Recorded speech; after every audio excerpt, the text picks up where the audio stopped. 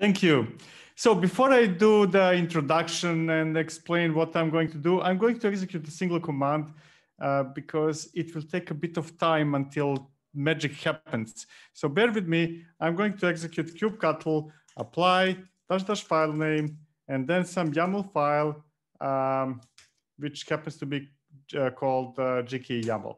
I will let that run in the background. It will take a couple of minutes, just enough time for me to explain what I want to do and so on and so forth. So uh, infrastructure, right? Infrastructure is code. Everybody's, I mean, we are living in 2021. Everybody's defining their infrastructure as code. That's not a new thing. You're picking one tool over the other. I'm not going to enter into discussion which one is better, which one is worse. Uh, just to say that basically all the tools in the market are now taking into account that infrastructure is defined as code simply because everything is defined as code today. But I feel that we need more than what the, let's say, commonly used tools are uh, bringing to the table, right? Yes, define infrastructure as code, execute some commands, some magic happens, uh, things are created, deleted, updated, what's not. We do that, that's been, that's a done story. Now, what I think we need uh, additional, right, uh, are a couple of things. First of all, I would really like uh, to see unification of the API. I use uh, Kubernetes. Everybody uses Kubernetes. Why not leverage Kubernetes API for more than creating Kubernetes resources? And we've seen that trend uh, for a while now. We've been using Kubernetes API to create virtual machines.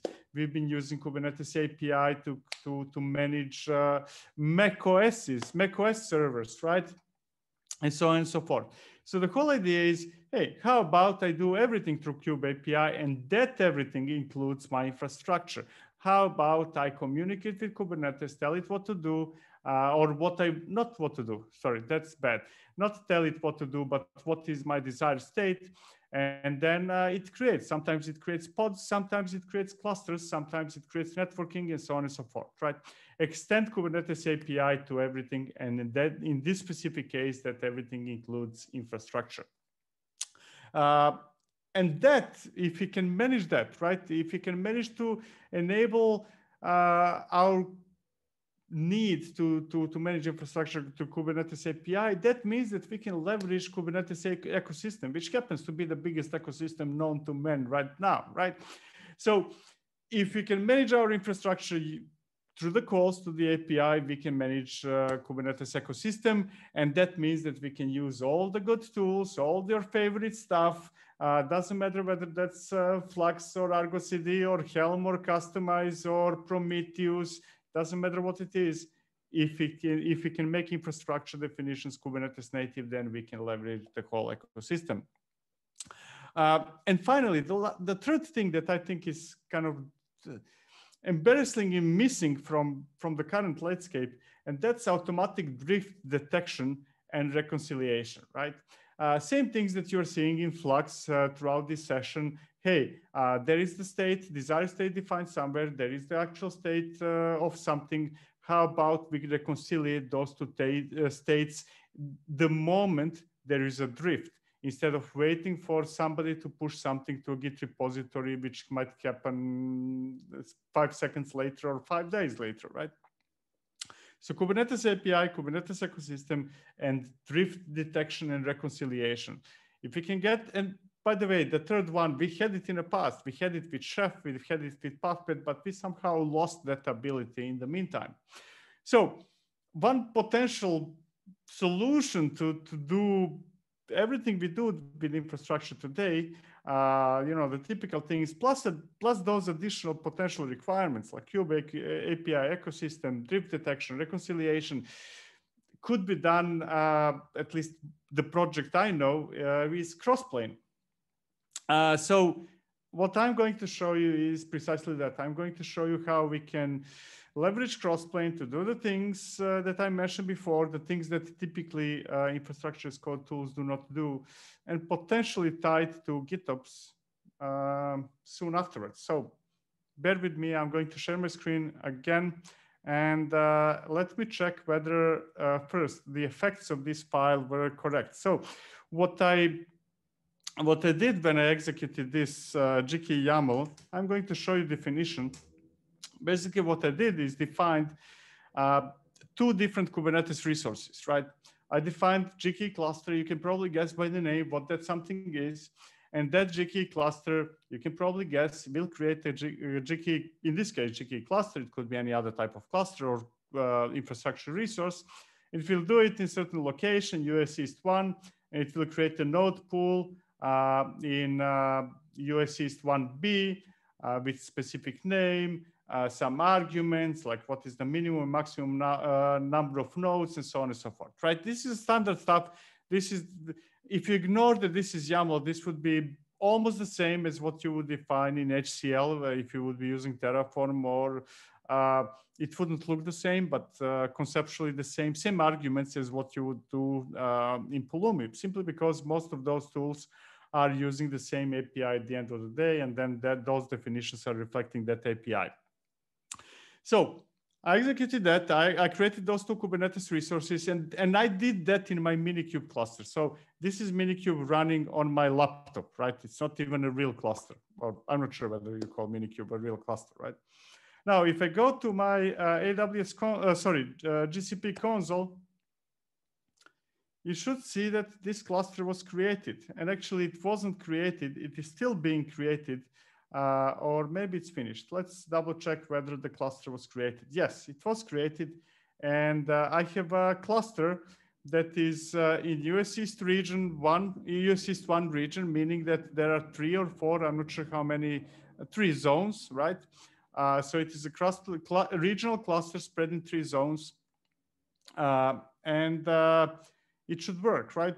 If I go to nodes, I can see that I have my nodes created but uh, let me double check. Yes, but there seems to be missing two nodes, right? I have an I have one node, and since this is a regional cluster, it should have three nodes because there are three zones in that region. So let me double check what's going on, right? Now, what's going on is obviously that in my YAML definition, I forgot to specify all the zones of the cluster, right? I specified only US East 1B instead of 1B and C and D. So I'm going to correct that. I'm going to save the change. And uh, my cluster should now be corrected. Now, don't start yelling immediately. Viktor, you're, you're doing things through the web UI. You should do things as code. I'm doing this intentionally, and you can probably guess why. Uh, so in a second, in a, in, a, in, a, in a minute or two, my cluster should now be running in three zones instead of one because I made a mistake. So uh, let me just see. Uh, let me take a look at what's going on, right? And I can see what's going on by um, executing commands. And this is now the same Kubernetes way of operating like anything else, like kubectl, uh, get, uh, get GKE clusters. Uh, I can see that I have a cluster. It is reconcil reconciling. Uh, I can retrieve the nodes, node pools. here it is. It is provisioning the node pools and uh, since I created my cluster using uh, Crossplane and then modified manually, which, which was a bad idea, but I'm going to get back to that. I'm going to retrieve the kubeconfig and double check whether everything is working.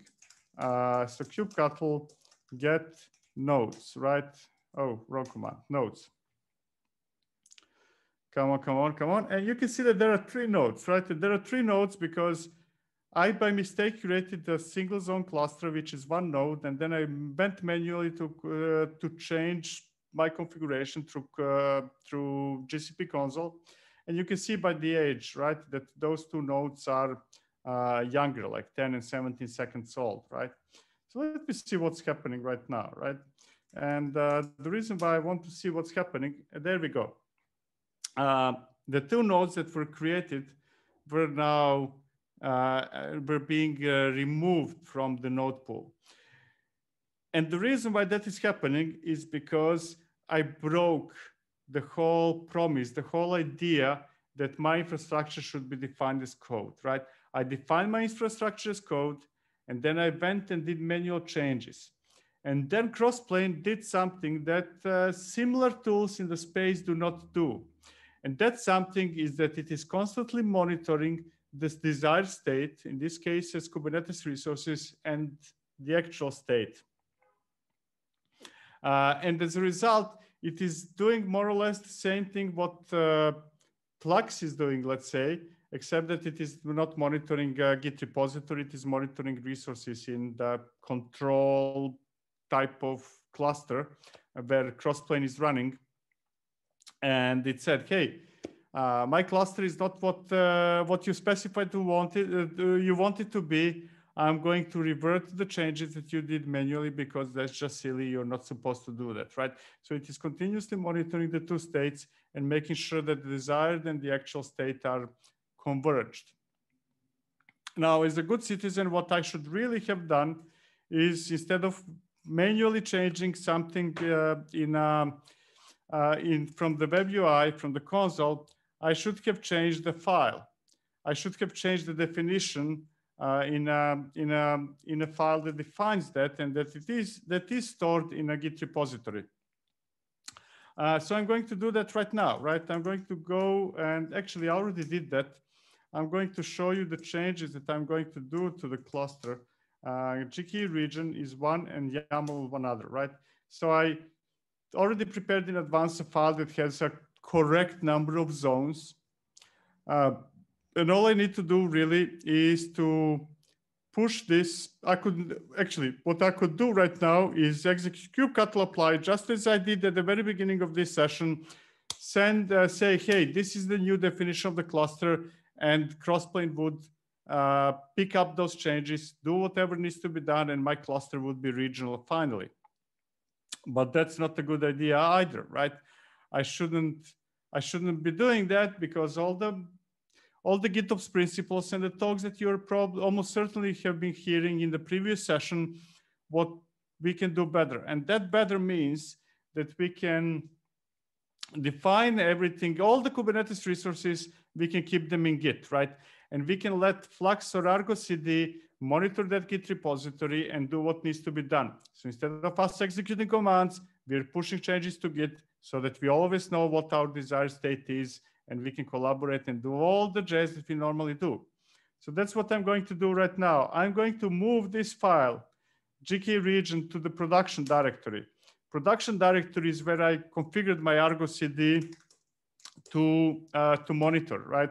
That's one of the directories in my Git repository that it is monitoring. So I'm going to add that change.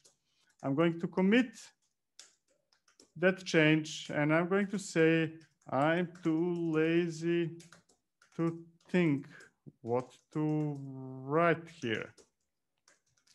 Uh, and I'm going to push that change to Git repository. Now, while that is happening, and everything I'm showing you right now is, is going to be uh, based on Argo CD. The logic is exactly the same, right? No differences between Argo CD and from conceptually at least between Argo CD and, um, and Flux. And what is happening is that here I have my uh, Argo CD UI. It has only one application. It has production environment with only one application, which is Argo CD itself, right? So it is managing itself. Uh, and right now it is waiting. I think that I configured it by default to um, to synchronize Git repository with uh, with its all internal uh, database uh, every three minutes. So I'm going to speed up. I'm going to press sync. You should never do this. Never press sync. Uh, it, the Argo CD will do the job for you, but I'm too lazy now to, I'm too impatient to wait for it. So I did it. So what it did is that it synchronized my Git repository with, uh, its internal definitions, what it knows about uh, the, the desired state. And if I go back to my console, uh, it should probably uh, start doing something. And that something should be that it should create all the missing nodes. kubectl get nodes. Let's see whether it is still not doing that. It will probably take a couple of more seconds or moments until it uh, synchronizes. And from there on, once once once it uh, one the two one the three states actually in this case we had three states to be synchronized and those three states is the desired state, which is uh, Git repository. And the second state would be the internal state of the tooling, in this case, Argo CD. And the third state would be the actual state. And that actual state is the, in this case, is infrastructure. So what, once the first set of synchronization happens, once the Git and in cluster, uh, where Argo CD and Crossplane are running are synchronized, then Crossplane will take it, uh, will take that as a new desired state. It will compare it. Uh, from there on, it will continue comparing it. Actually, it will be continuously comparing the two states, and it will detect that there is something wrong. That infrastructure is not as I want it to be, and it will create the nodes. And there we are.